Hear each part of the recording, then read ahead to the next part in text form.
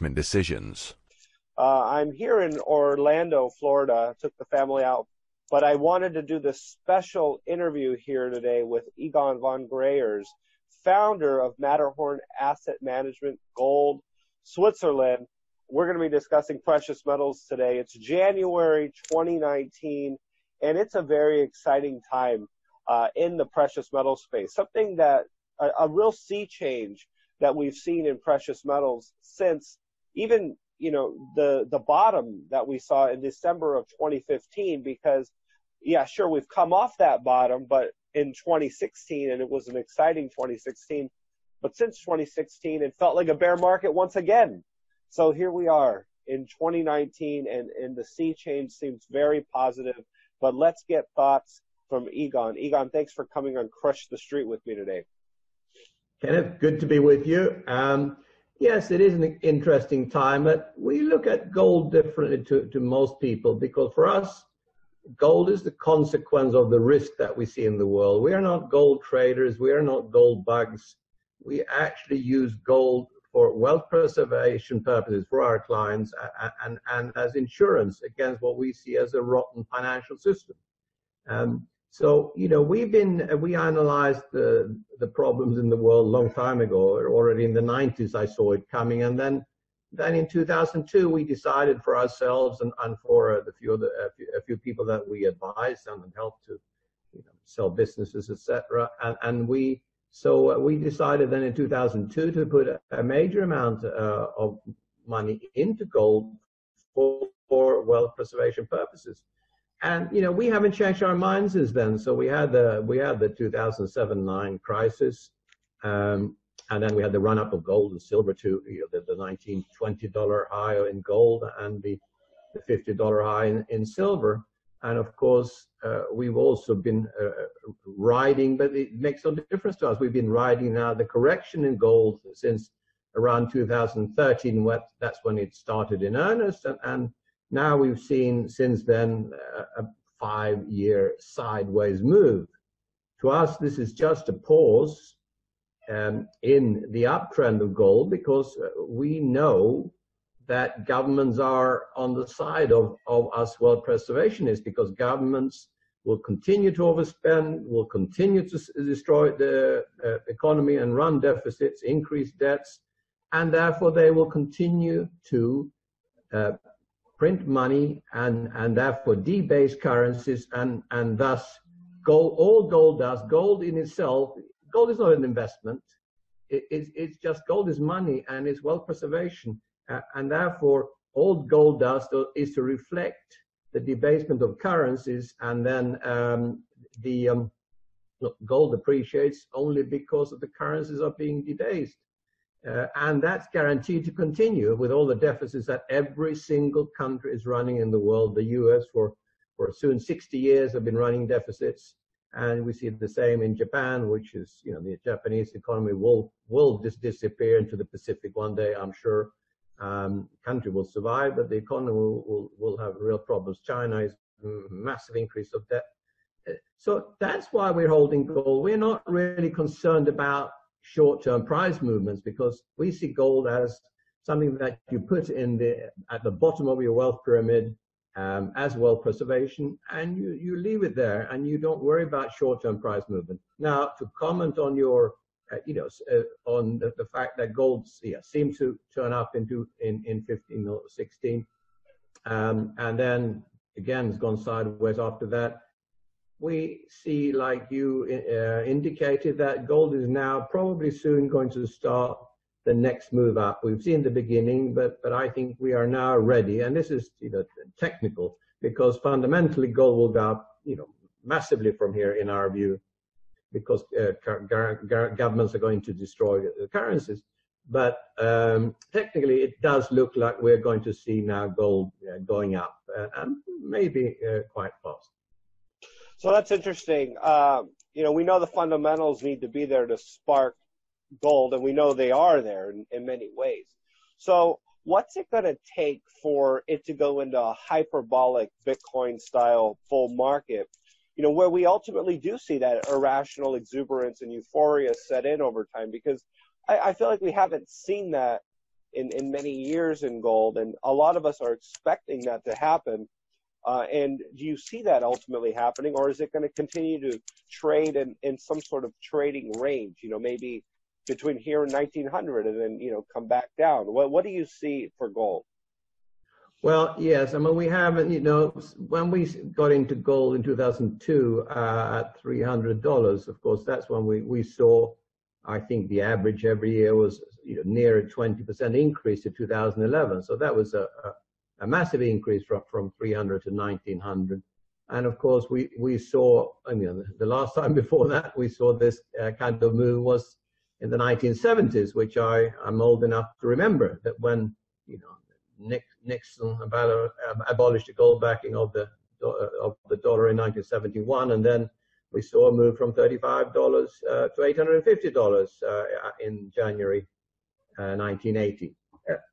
Uh, I think we are, what's going to trigger that's what you are. First of all, gold, any gold move that comes for, uh, due to a, a, crisis or an event driven uh, you know, happening doesn't when i say an event it has to be a, you know a minor event doesn't really uh, like a bank crashing or, or you know, even the 9-11 bombing etc uh, it's not minor in itself it's not enough to make gold up uh, go up in a sustainable way I mean, what what makes gold go up is number one as i said the debasement of the currency but if you have a, a major event in the world you know if we have a world war or something yes gold will obviously got a lot faster. But what is going to drive, so the two things that will drive gold, we will see, in my view, we are going to get into a period of high inflation and probably hyperinflation because we are going to have the, the, the 2007-9 crisis was just a rehearsal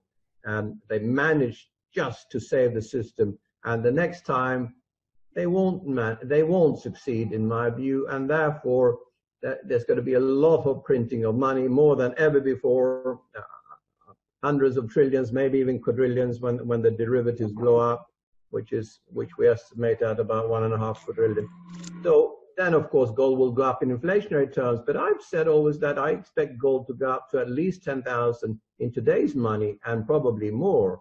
Um, the big reason for gold not going up today is the fact that we have a futures market, and that's not just COMEX, because the LBMA and, and the, the London Bullion Market Association, which is the main organization that, that trades back, uh, gold for, for the between the banks, um, and um, they have a massive daily turnover in paper gold, just as COMEX. So paper gold is many hundred times uh, bigger than physical gold um, and that is the market that is used uh, to suppress the gold price. Uh, and that we see uh, at uh, various times uh, that you know, middle of the night, etc., they come in and, and depress the price. Now, once that market fails and once people start to have paper gold and realize that they're not going to get delivery, once they start to ask for delivery, and that time will come then there will not be any physical gold available because you know gold we reach peak gold in, in production terms already uh, so there's no more gold available except for the stock that, there is in the world of what 170,000 tons altogether but more than half of that is jewelry of course so that's not really tradable gold so but anyway we will get a, a, a time when the that futures and interbank market is being uh, attacked because people will ask for delivery, and this is when you will not be able to buy gold at any price, and that that time will come, and this is when we will see a very big move. Well, whether that happen happens in a you know in a year's time or two, I, I would guess that it, it's going to happen within the next five years. Uh, uh, but people shouldn't buy gold for that purpose. They should only buy for wealth preservation purposes because it's guaranteed that it will continue to appreciate against all other assets. I mean, I expect, for example, uh, stock market, U.S. stock market, or all the stock markets, which are all bubble markets, I expect them to go down. Well, I, uh, you know, at least 75%, but probably 95% against gold in the next five to seven years. Um, you know, and that that sounds dramatic, but remember, in, in 1929, to 32, the, the Dow went down um, 90% in itself, not against gold, but, but just 90%. And it took 25 years to get back to that level again. So, you know, a 95% move down in the, in, uh, against gold or stock markets uh, would not surprise me at all. And that's the reason why people should hold gold um, rather than, you know, for speculative reasons. No, it's powerful. It's like Warren Buffett says, you know, rule number one, don't lose money. Rule number two, you know, refer to rule number one. And, and I feel like what you're saying is there's a lot of upside risk, but don't go for necessarily the upside risk. The fact is, is there's minimal downside risk here in gold. Yeah, no, the governments guarantee you, you, you know, when there is not sound money in the world, uh, when governments live above their means and print money and issue more credit, that is, uh, and that's the era we're in now. We've been in that era in this cycle since 1913, uh, and uh, that era is not finished because we're more in debt than ever, and governments are running higher deficits than ever, especially the biggest economy in the world, which is um, the U.S., of course. But you know, China is in the same position, Japan is in the same position. So that's why you know, it is an absolute guarantee that gold will continue to go up in real terms in the next few years because of the economic situation in the world. So that's why it's such an, you know, it's such a fantastic insurance, so such an incredible hedge against all these bubble assets. But people have been spoiled with stock markets, bond markets, uh, property markets, um, private equity, etc. They've been spoiled with them going up forever because of the credit expansion we've seen that time, in my view, has come to an end. Um, and therefore, we will see the biggest shift ever in wealth in the next few years. Um, and you know, it'll be a shock. It'll be a shock for, for a lot of people. I, I, love it. And even though a lot of people have heard content like this, I mean, I've produced a ton of content regarding gold going up. And I know it's frustrating and it's difficult to hear sometimes. But look, I think this is powerful, game changing, life changing uh, information for people. And I think it's very important that people know this, especially now here in early 2019, uh, to be prepared for what is to come. So I'm proud to put this information out, and I'm really glad that you came on the show, Egon. Uh, if people want to learn more about what you do, the content you provide, the the resources you provide, please let them know where they can go and what they can expect to find. Yeah, so we help people. Uh, we help people with have a certain, who have a certain amount of money. That the, the, the minimum for us is two hundred fifty thousand dollars, and then we go. You know, we have a very big uh, clients. Uh, we are the only company in the world that deals with the, the higher net worth individuals, ultra high net worth, uh, storing gold, buying and storing gold outside the, the banking system. Um, that is owned directly by the client. They have direct access to it. Um, and um, so, so we do that and store it in vaults in, in Switzerland, Zurich, and we have the biggest gold vault in the world in the Swiss Alps, which is in, in, in a secret place, which is the safe, safest vault in the world. Uh, so, so we deal with, as I said, people who have bigger money, but you know, at least 150,000. But they can go to goldswitzerland.com, goldswitzerland.com, uh, where they find all the information. Uh, but you know, lot, some people say to, but you know, it's unfair. So you have this fantastic system, buying, selling, providing liquidity, storing for for people. But what about us? Have normal money? But I said, you know, I say to them, you can also save. You might not, you might not be able to become a client of, of ours, but anybody can save in gold. You know, if the Venezuelans have done that 20 years ago, 15 years ago, they would have had food for the rest of their lives. If they bought a few grams of gold or, or a fraction of an ounce every month, you know, an ounce of gold, well, it might be too, that's too expensive for most people, but uh, which is that, that's almost $1,300. But if you take a gram of gold, a gram of gold is $40. It's a small piece like that, very, very small gram. But, you know, you can, everybody can afford that. There's a few beers or, or, or a pack of, a couple of packs of cigarettes, etc anyone can afford to, to save a little bit in gold and then they have to keep it, you know, in the safe somewhere or hide it, whatever. Uh, so gold is for everyone. Don't believe that gold is just for the rich. We help people who have, more, uh, you know, certain amount of money, but gold is for everybody. And it's so important for everyone to, to realize that even you can save, even if you have a lower income or, or lower wealth. Egon, thank you so much for coming on Crush the Street and reminding us about the importance of gold.